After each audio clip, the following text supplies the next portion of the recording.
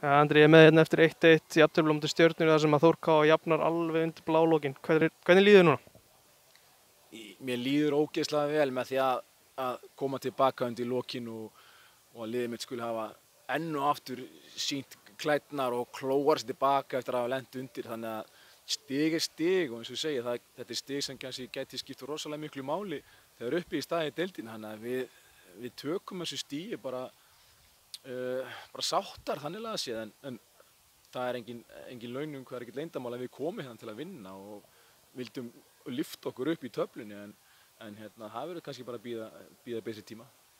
Mín tilfinning er svona að Þórká að stýri leiknum svona lengstum. Hvernig er svona þínu upplifun á svona leik?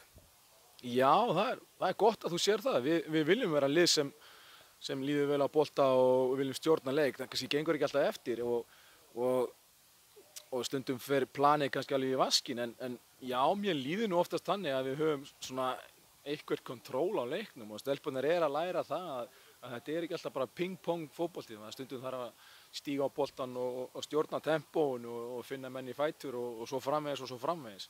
Þannig að þetta, þetta er bara eitt af því sem við erum að vinna í og, læra í leiðinu og hérna á eftir að batna bara vonandi.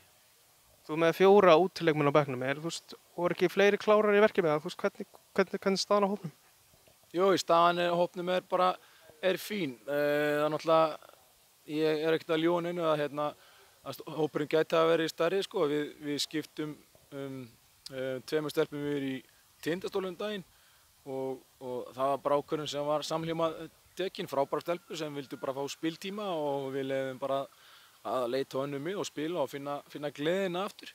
Um, að sama skapi eru við svona í hugleggum með að fá inn, inn leikmenn en, en það er ekki eins og við séum einhverja, einhverja 30 stelpur á lista og séum bara veljúr. Þetta markaðarinn er, er skrítin í dag þannig að við bara erum með augun opjum fyrir, fyrir góðum leikmannum en, en ég er gríðilega sáttu með það stelpur sem ég er með í, í hópnum í dag.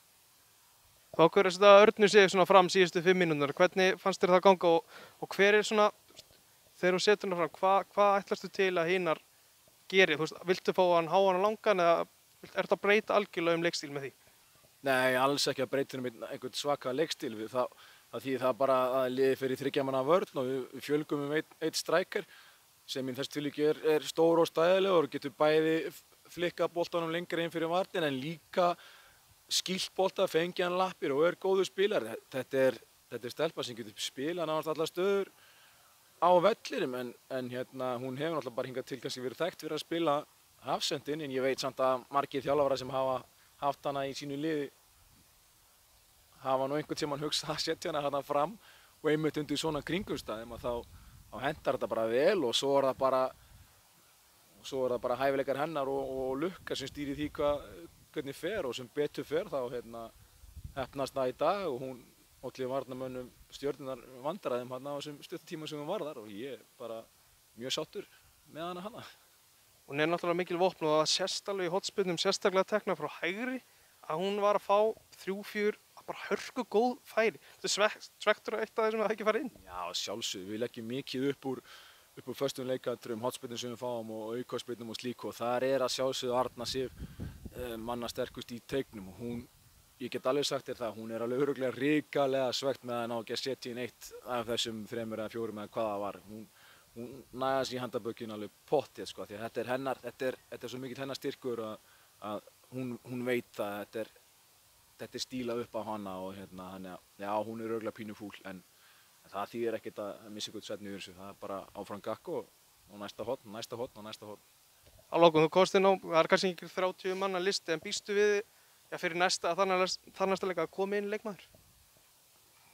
Þetta er alveg óskrifað blað. Ég get alltaf sagt já eða nei. eins og ég segi, við erum bara, við erum að skoða og við, ef við finnum einhvern, einhvern með svaka gæði að þá er erfitt að neyta honum og, og stækka hans hópin og setja smá samkeppni inn í, inn í, inn í hópina því það, við, við viljum helst forðast það að menn að stelpur eigi fast sæti í liðinu þó að það hefur kannski lit út þetta sísoni að margar eru að byrja flestu leikina og spila flestu míntur en, en aftur við erum að fara inn í helja prógram og, og veist, stór hópu skiptir greiðlega ykkur máli þannig að við eins og segja já við erum alveg opinn fyrir góðum leikmennum ég neita því ekki. Ökulegra, takk.